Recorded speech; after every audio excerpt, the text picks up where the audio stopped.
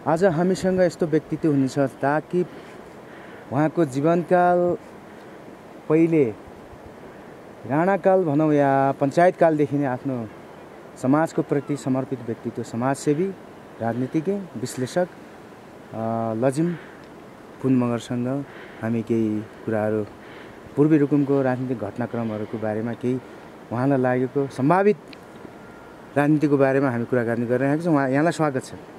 धन्यवाद। हजुरले यति लामो समयसम्म आफ्नो राजनीतिक जीवन यात्रा भनौँ या समाजसेवामा समर्पित हुनुहुन्छ। अहिले पछिल्लो समयको यो पुथा उत्तरगङ्गा गाउँ हल हल चलै मचायो यसको पछाडि रहस्य के हो किन यस्तो भयो होला? यो हामी यो कुरा गर्ने सुरुवात गर्नु खोज्दाखेरि सबभन्दा पहिला हाम्रो इतिहासलाई पनि अलिकति कोट्याउनु पर्ने हुन्छ। हामी राणाकालमा बागलुङ गौँडा थियौँ। त्यसपछि धौलागिरी बा पाल्पा गौँडा थियौँ त्यसपछि बागलुङ गौँडा भयौँ त्यसपछि बागलुङ जिल्ला भयो त्यसपछि गएर चाहिँ बिचमा दोल्पा जिल्ला भयो अनि त्यसपछि फेरि बागलुङ जिल्ला भयो र बत्तिस सालको संशोधनले हामीलाई चाहिँ बत्तिस सालको संशोधनले हामीलाई रुकुमतिर गाभ्यो। रुकुमतिर गाभ्यो र त्यो बेला पनि हामीलाई के लाग्छ भने त्यो बेला पनि सायद राणाकालदेखि पञ्चायतकालले पनि यो दुर्गम क्षेत्रलाई यो विकट क्षेत्रलाई अलिकति यहाँको पिरमर्कालाई अलिकति नजिकबाट बुझेको देखेको र नै यसरी गरे सुविधा हुन्छ कि त्यसो गरे सुविधा हुन्छ कि भनेर त्यस्तो गरे कहिले कहाँ कहिले कहाँ गरे जस्तो लाग्छ हामीलाई। र यो पछिल्लो चरणमा जहाँसम्म यो पहिलोको चाहिँ सतहत्तरौँ जिल्लाको सबभन्दा कान्छो रुकुम जिल्लाको कुरो छ यो जिल्ला सतहत्तर जिल्ला हुनुभन्दा पहिला हामी तमाम मागहरू लिएर डेलिगेसन पटक पटक हामी काठमाडौँ सम्बन्धित ठाउँहरूमा हामी पुगेकै हौँ र त्यसमा हामी के भने यस्तो दुर्गम विकट क्षेत्रलाई छुट्टै एउटा चाहिँ भौगोलिक र एउटा भाषिक एउटा कलस्तर जस्तो राखेर हाम्रो पिरमलकालाई सम्बोधन गरेर एउटा छुट्टै जिल्ला गरियोस् भनेर चाहिँ छुट्याइयोस् भनेर हामी पटक पटक माग पनि राखेको थियौँ। र त्यसलाई त्यही हाम्रो मागलाई देखेर भनौँ अथवा त्यो बेलाका चाहिँ सरकारले अलिकति हाम्रो मागको सुनवाई गरेर भनौँ पूर्वी रुकुम जिल्ला भनेर सत्तरौँ जिल्ला भयो।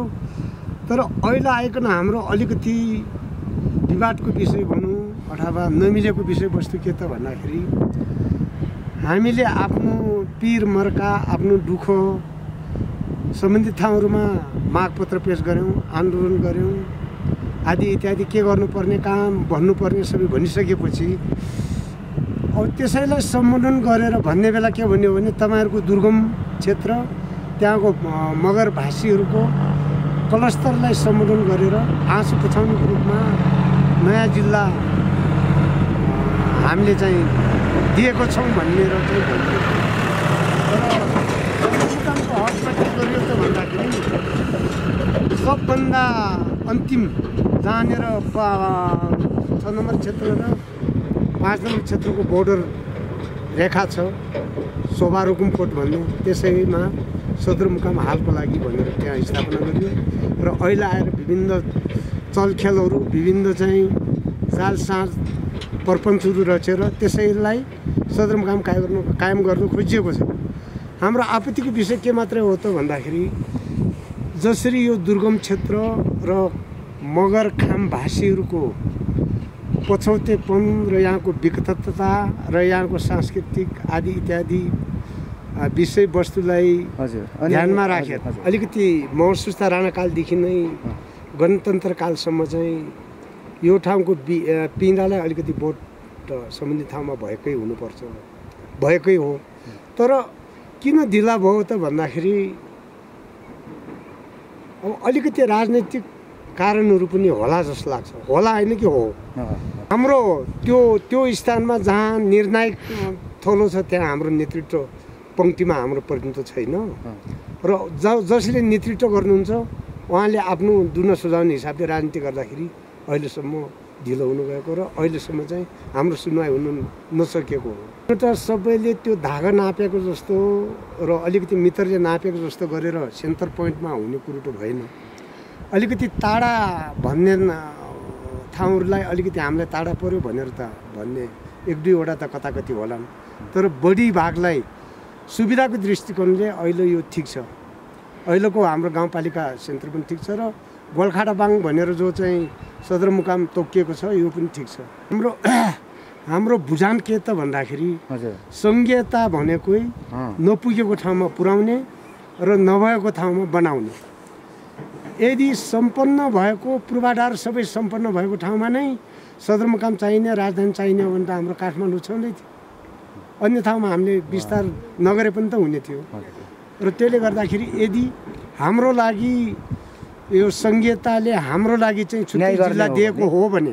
हाम्रो मागलाई सम्बोधन गरेको हो भने अलिकति हाम्रो चाहिँ सेन्टर पोइन्टमा हुनुपर्छ भन्ने मात्रै हाम्रो माग हो र एउटा कुरो अर्को कुरो सेन्टरको कुरो गर्दाखेरि हामीले सेन्टर पोइन्टलाई मात्रै लिइराखेका छैनौँ त्यहाँको पूर्वाधारको हिसाबले पनि कहाँ उपयुक्त छ त भन्दाखेरि त्यति ठाउँमा हामीले चाहिँ गाउँपालिका केन्द्र र जिल्लाको सदरमुकाम हुनुपर्छ भनेर हामी चाहिँ अगाडि बढेका अब अहिले उहाँहरूलाई भन्नु पर्दाखेरि कता कता नमिठो लाग्ला। हामीलाई के महसुस भइराखेको छ त भन्दाखेरि सायद उहाँहरूले हाम्रो स्वरमाथि स्वर मिलाएको भएदेखि योभन्दा अगाडि नै छिटो छरितो र स- जनतालाई दुःख नहुने किसिमले यतिखेर चाहिँ हाम्रो सम्पन्न फाइनल भइसक्थ्यो होला।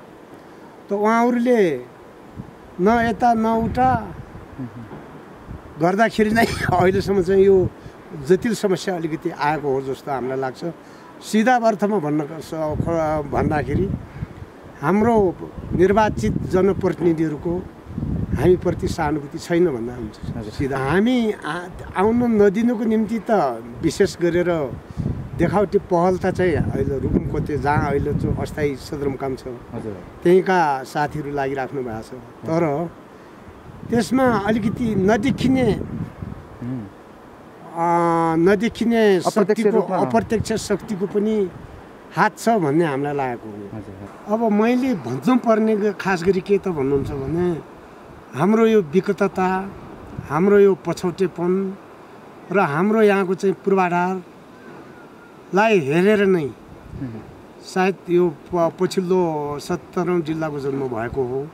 र त्यसमा कोही कसैले पनि अवरोध नगरेर राजनैतिक आँखा र चस्माले नहेरिकन हाम्रो अप्ठ्यारो हाम्रो पिरमर्का र हाम्रो यहाँको चाहिँ दुःख कष्टलाई सबै दल सबै राजनीतिक कर्मीहरूले हेरेर जहाँ नेपाल सरकारले निर्णय गरेको छ त्यहाँ नै कायम गरिदिनुहोस् भन्ने मेरो हार्दिक अनुरोध। उहाँहरूसँग पनि छलफल भइराखेको छ उहाँहरूको कतिपय धेरै अधिकांशको साथीहरूको समर्थन अ, गोर्खा बाङ नै छ र अलिअलि साथीहरू एक दुईजना साथीहरूको के छ भने अलिकति आते जातेको हिसाबले भनौँ अरू अरू हिसाबले सुविधाको हिसाबले।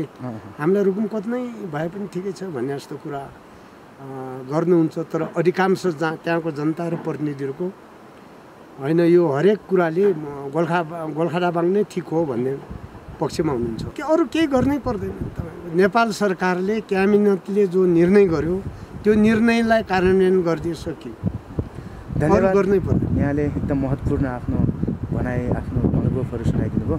यहाँको राजनैतिक जीवन आफ्नो छवि सामाजिक छवि चाहिँ फलोस् फुलोस् यहाँ चाहिँ हाम्रो शुभकामना। हस् धन्यवाद।